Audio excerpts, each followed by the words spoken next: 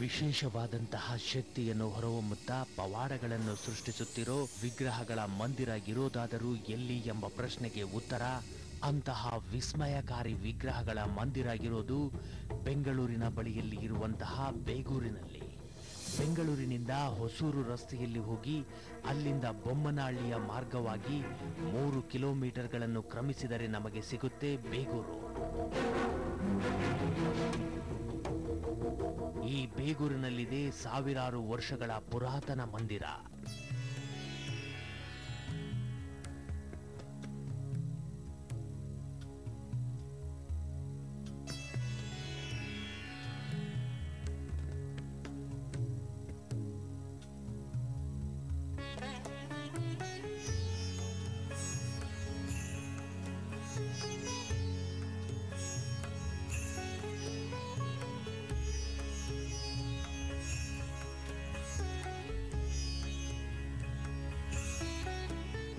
ಮಂದಿರದಲ್ಲಿವೆ ವಿಶೇಷವಾದಂತಹ ಶಕ್ತಿಯನ್ನು ಹೊರಸೂಸೋ ಋಷಿಗಳಿಂದ ಸ್ಥಾಪಿಸಲ್ಪಟ್ಟ ವಿಸ್ಮಯಕಾರಿ ವಿಗ್ರಹಗಳು.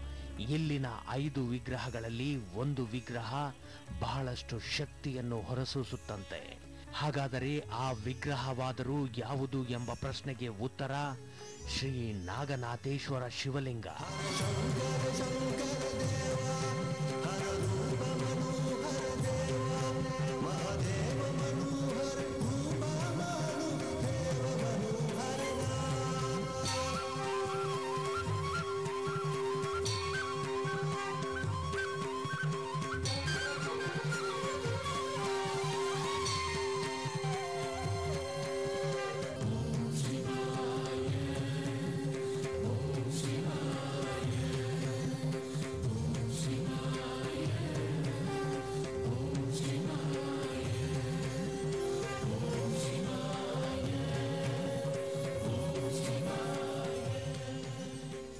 ಶಿವಲಿಂಗ ಒಟ್ಟು ಐದು ರೀತಿಯಾದಂತಹ ಶಕ್ತಿಗಳನ್ನು ಹೊರಸೂಸುತ್ತಂತೆ. ಇಲ್ಲಿನ ಬೇರೆಲ್ಲ ವಿಗ್ರಹಗಳ ಶಕ್ತಿ ನೇರವಾಗಿ ಬಂದು ಈ ಲಿಂಗದೊಳಗೆ ಸೇರಿ ತದನಂತರ ಈ ಲಿಂಗದಿಂದ ದಿವ್ಯ ಶಕ್ತಿ ಹೊರಹೊಮ್ಮುತ್ತಂತೆ. ಅಂದರೆ ಈಗ ನಾಗೇಶ್ವರ ಇದು ಇಲ್ಲಿ ಒಂದು ಐದು ಪವರ್ಸ್ ಇಲ್ಲಿ ಬರುತ್ತೆ.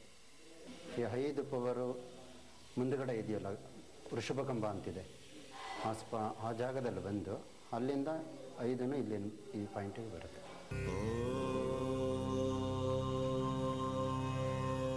ಈ ಲಿಂಗದ ಮುಂದೆ ಬೇಡಿ ನಿಂತರೆ ಸಕಲ ಕಷ್ಟಗಳು ನಿವಾರಣೆಯಾಗುತ್ತವಂತೆ, ಸಕಲ ಇಷ್ಟಗಳು ಈಡೇರುತ್ತವಂತೆ. ಅಗಸ್ತ್ಯ ಮಹಾಮುನಿಗಳ ನಾಡಿಶಾಸ್ತ್ರದಲ್ಲಿ ಈ ನಾಗನಾಥೇಶ್ವರ ಲಿಂಗದ ಬಗ್ಗೆ ಬಹಳಷ್ಟು ಉಲ್ಲೇಖನವಿದೆ. ಇಲ್ಲಿ ಏನಾಗುತ್ತೆ ಅಂದ್ರೆ ಈ ನಾಲ್ಕು ದೇವಸ್ಥಾನದ ಪವರ್ ಒಂದೇ ಕಡೆ ಬರುತ್ತೆ.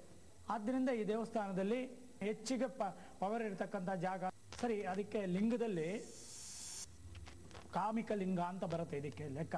ಅಂದ್ರೆ ನೀವೇನು ಕೇಳ್ಕೊಳ್ತೀರೋ ಅದಕ್ಕೆ. ಅದಕ್ಕೇನಪ್ಪ ಆಧಾರ ಅಂದ್ರೆ ಅದರಲ್ಲಿ ಗೆರೆಗಳು ಇರುತ್ತವೆ ಆ ಲಿಂಗದಲ್ಲಿ. ಆ ಗೆರೆ ಇದ್ರೆ ಕಾಮಿಕ ಲಿಂಗ. ಇಲ್ಲಿ ನೀವೇನು ಕೇಳ್ಕೊಳ್ತೀರೋ ಅದು ಕೆಲಸ ಆಗುತ್ತೆ.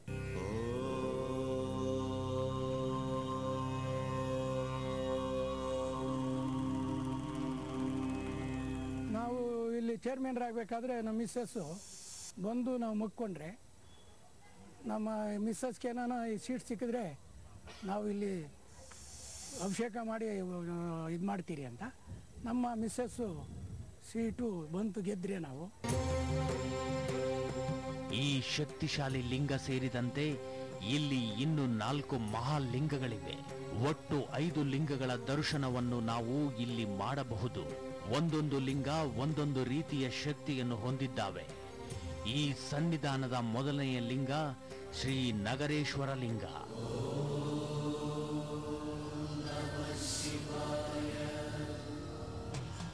ಈ ನಗರೇಶ್ವರ ಲಿಂಗದಲ್ಲಿನ ಶಕ್ತಿ ಚರ್ಮ ರೋಗವನ್ನು ನಿವಾರಿಸೋ ಆರ್ಥಿಕ ಸ್ಥಿತಿಯನ್ನು ಉತ್ತಮಗೊಳಿಸೋ ಶಕ್ತಿಯನ್ನು ಹೊಂದಿದೆ ಎಂಬ ಪ್ರತೀತಿ ಇಲ್ಲಿದೆ. ನಗರೇಶನ ದೇವಸ್ಥಾನದಲ್ಲಿ ಅಲ್ಲಿ ಎರಡು ನಿರ್ದಿಷ್ಟವಾದ ಜಾಗಗಳಿದೆ. ಅದರಲ್ಲಿ ಒಂದು ಕಡೆ ಚರ್ಮರೋಗ ಎರಡನೇ ಕಡೆ ಬಿಸ್ನೆಸ್ ಮಾಡೋರಿಗೆ. ಇಂತಹ ಮಾತುಗಳಿಗೆ ತಕ್ಕಂತೆ ಹಾಗೆ ಆರ್ಥಿಕ ಸ್ಥಿತಿ ಉತ್ತಮಗೊಂಡಂತಹ ಬಹಳಷ್ಟು ಉದಾಹರಣೆಗಳು ನಮಗೆ ಇಲ್ಲಿ ಸಿಗುತ್ತವೆ.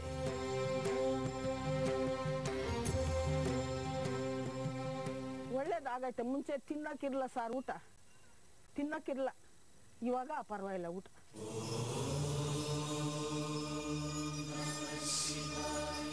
ಬಹಳ ನಂಬಿಕೆ ಇದೆ ನಮಗೆ ಈ ದೇವಾಲಯದ ಮೇಲೆ, ಶಿವನ ಮೇಲೆ ನಂಬಿಕೆ ಇದೆ.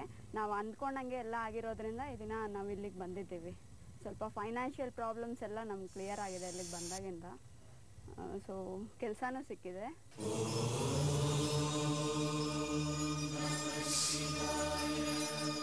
ಇಲ್ಲಿ ಎರಡನೆಯ ಲಿಂಗ ಕರ್ಣೇಶ್ವರ ಸ್ವಾಮಿಯ ಲಿಂಗ.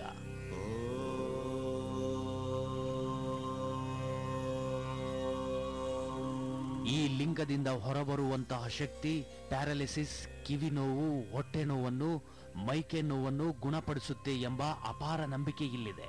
ಈ ಲಿಂಗಕ್ಕಿರುವ ಪ್ರತೀತಿಗೆ ತಕ್ಕಂತೆ ಮೈಕೈ ನೋವು, ಹೊಟ್ಟೆ ನೋವು, ಪ್ಯಾರಾಲಿಸಿಸ್ ಗುಣವಾದಂತಹ ಬಹಳಷ್ಟು ಉದಾಹರಣೆಗಳು ನಮಗೆ ಇಲ್ಲಿ ಸಿಗುತ್ತವೆ.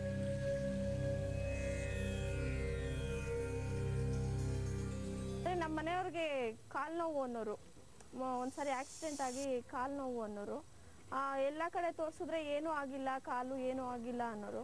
ಆದರೆ ನಾನು ಈ ದೇವ್ರಿಗೆ ಹಸ್ಕೊಂಡ್ಮೇಲೆ ಪೂಜೆ ಕೊಟ್ಮೇಲೆ ನಮಗೆಲ್ಲ ಒಳ್ಳೇದಾಗಿದೆ. ಈಗ ಅವ್ರಿಗೆ ಕಾಲು ಸಂಪೂರ್ಣವಾಗಿ ಗುಣ ಆಗಿದೆ, ಏನು ಪ್ರಾಬ್ಲಮ್ ಇಲ್ಲ.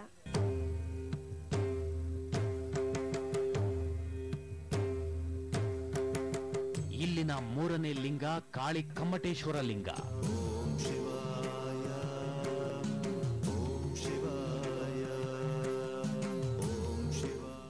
ಲಿಂಗ ಶತ್ರು ಬಾಧೆಯನ್ನು ಶಮನಗೊಳಿಸಿ ಯಶಸ್ಸನ್ನು ಕೊಡುವಂತಹ ಶಕ್ತಿಯನ್ನು ಹೊಂದಿದೆ ಎಂಬ ಪ್ರತೀತಿ ಇದೆ.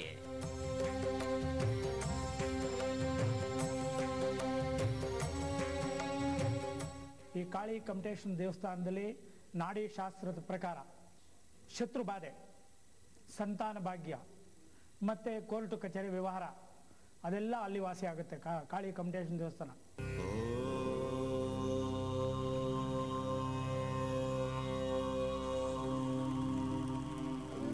ನೂರಕ್ಕೆ ನೂರು ಭಾಗ ನಾನು ಇವತ್ತು ವ್ಯವಸ್ಥಿತವಾಗಿ ಆಗಿದೆ ಅನ್ನೋ ಕಾರಣದಕ್ಕೆ ಕಾಳಿ ಕಮಟೇಶ್ವರಿ ದೇವಸ್ಥಾನದ ಕಾರಣ ಅಂತ ನಾನು ಘಂಟಾಘೋಷವಾಗಿ ಹೇಳ್ತೀನಿ. ಇಲ್ಲಿನ ನಾಲ್ಕನೇ ಲಿಂಗವೇ ಚೋಳೇಶ್ವರ ಸ್ವಾಮಿಯ ಲಿಂಗ.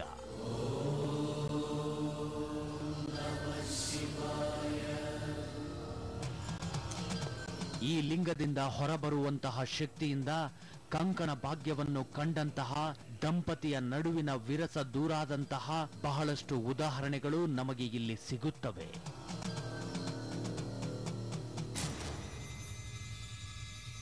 ಚೋಳೇಶ್ವರ ದೇವಸ್ಥಾನ ಎಷ್ಟು ದಿವಸ ಆದ್ರೂ ಈ ಮದುವೆ ಆಗದೇ ಇರೋರು ಅಲ್ಲಿ ಪ್ರಾರ್ಥನೆ ಮಾಡಿಕೊಂಡ್ರೆ ನಿರ್ದಿಷ್ಟವಾದ ಜಾಗಗಳಲ್ಲಿ ಅದು ಆ ಕೆಲಸ ಆಗುತ್ತೆ.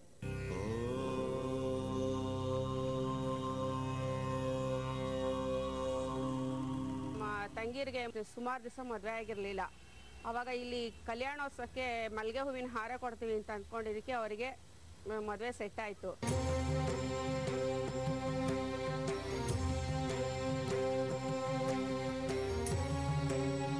ಇಲ್ಲಿನ ಐದನೆಯ ಲಿಂಗವೇ ನಾಗನಾಥೇಶ್ವರ ಸ್ವಾಮಿ ಲಿಂಗ.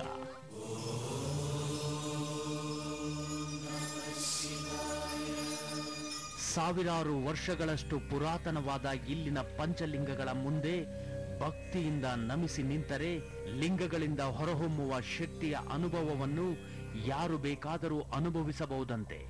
ಅಂತಹ ಶಕ್ತಿ ಶ್ರೀ ನಾಗನಾಥೇಶ್ವರ ಸ್ವಾಮಿಯ ಲಿಂಗದ ಬಳಿ ಅಧಿಕವಾಗಿದೆಯಂತೆ. ಇಲ್ಲಿನ ಲಿಂಗಗಳ ಮುಂದೆ ನಿಂತರೆ ಲಿಂಗಗಳಿಂದ ಹೊರಹೊಮ್ಮುವ ಶಕ್ತಿ ಮನುಷ್ಯರನ್ನೇ ತಳ್ಳುತ್ತಂತೆ, ಸುತ್ತಿಸುತ್ತಂತೆ, ಅಲುಗಾಡಿಸುತ್ತಂತೆ. ಇದು ನಿಜವಾ? ಪ್ರತ್ಯಕ್ಷವಾಗಿ ಲಿಂಗಗಳ ಮುಂದೆ ನಿಂತು ನೋಡೇ ಬಿಡೋಣ. ಒಂದು ಸಣ್ಣ ಬ್ರೇಕ್ ನಂತರ.